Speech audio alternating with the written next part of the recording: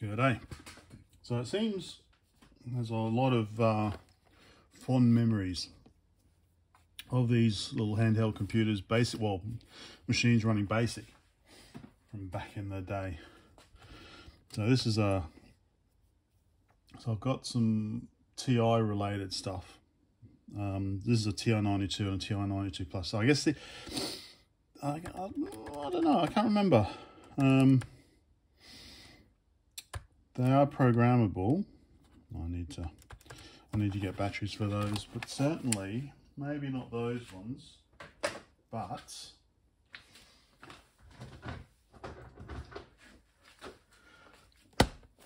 these ones. These are cool. It's in that it's empty.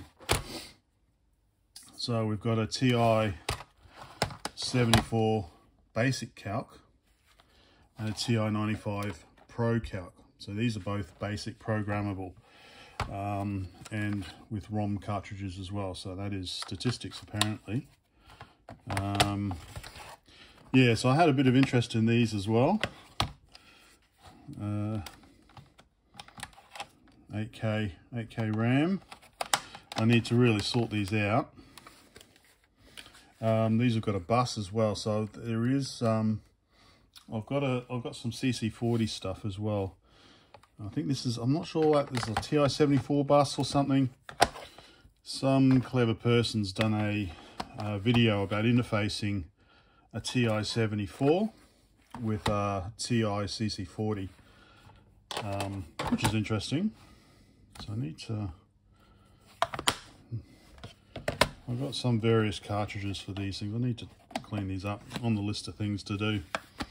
So yeah, I've got a bunch of TI-95 Pro calcs and some TI-74 basic calcs. Also got the boxes in boxes as well.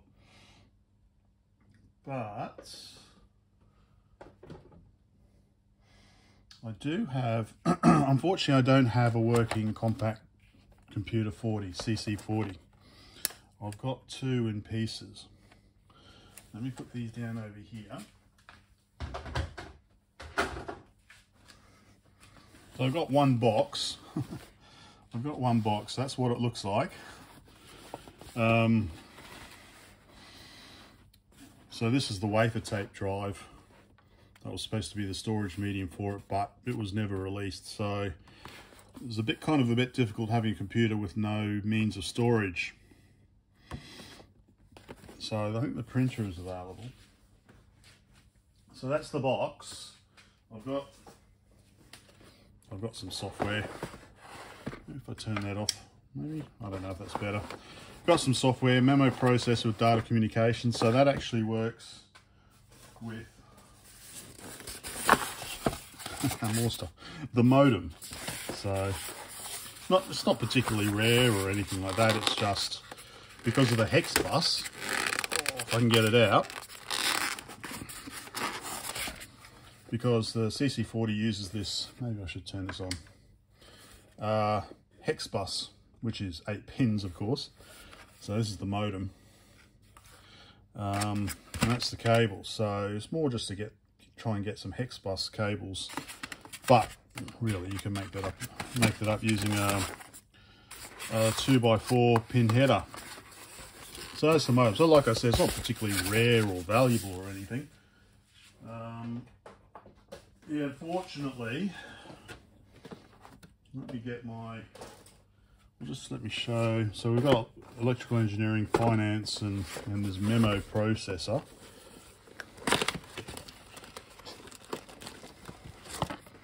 Oh, didn't realise it came with a, hold on, now do I have it in here? I should have it in here. I Guess I'll go and put it somewhere. Wait a second. What have I done with this? Oh, did I pull it apart? I might have. Put, I wouldn't be surprised if I pulled it apart. Let's have a look at this other one. I know this is in here. Advanced Electrical Engineering, Active Filters, Bode Nyquist, Roots of Polynomial, Discrete Fourier Transform, Network Analysis, Passive Low Pass Filters, PLL, Signal Detection, so Okay, and wafer tape. Reminding you, wafer tape, digital tape drive not available. So, good luck saving shit. So this is what the ROM cartridge looks like for the CC40. Plugs in. So that means I could,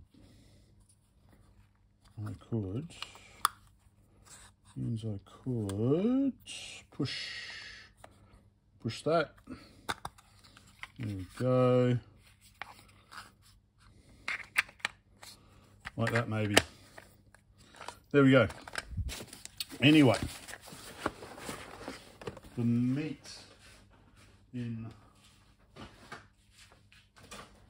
unfortunately this is the the sad state of my two compact compact computer 40s cc 40s um, just for a quick comparison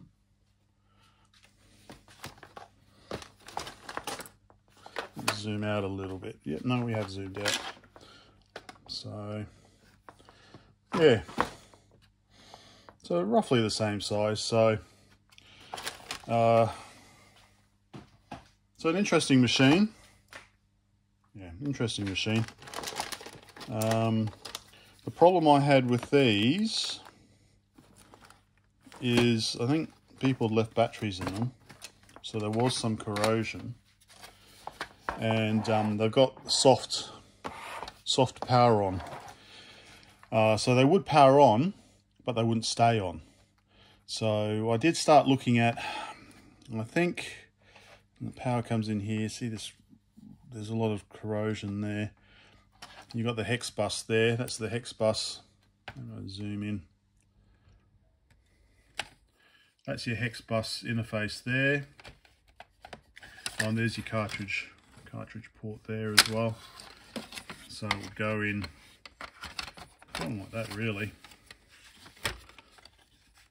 and sorry stick your cartridge in there anyway so it was soft power on but it wasn't staying on and so I think there was I think the idea is that you know it switches a transistor so then the power remains on I guess that's generally how soft power on works um, but it wasn't really working so I was trying to figure that out so you can see with this one, the display is damaged anyway. It's a good size display. Um, although, although no, having said that, I think it was only yeah, it was only one line. It was only a single single character. You can see it actually, yeah. So even though it's it's quite large, you look at the Canon. So the Canon was uh, four lines. The CC40 was a single line still. Um, but, you know, whatever. So again, you know, we've got this corrosion up here. Um, so yeah, so something, I think one of them, looking at it, it looked like the like the main processor had been resoldered or something. So yeah. Anyway, so this is what the inside of one looks like at least. Again, look, look at this.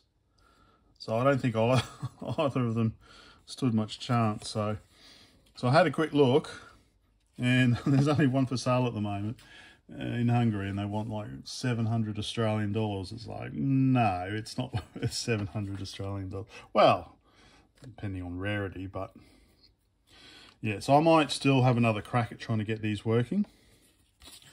Um, because they are a neat machine. Like I said, someone online has interfaced them with uh, the TIs. Oh, there we go. There's my memo processor cartridge.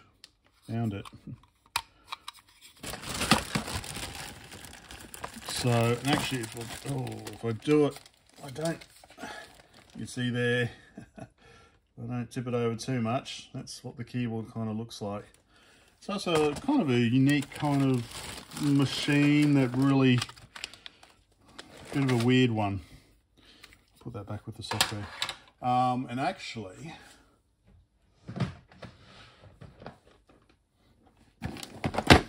we'll move this away. Put you back in here.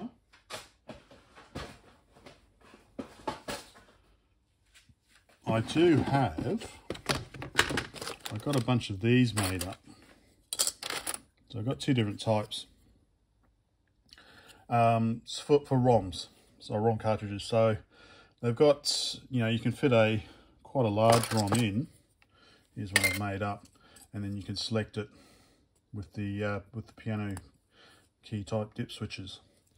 And this one here just basically extends the expansion port out to a header here, that so you can, I don't know, do experiments.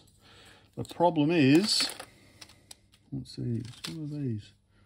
These are USB ports. Um, problem is I don't have a working CC40 to try these out. So that's why they have remained in my little box of PCBs. So anyway, sometime in the future maybe I might get another, I might have a, I might be able to fix fix them, or I might be able to get get one at a reasonable price. So there we go.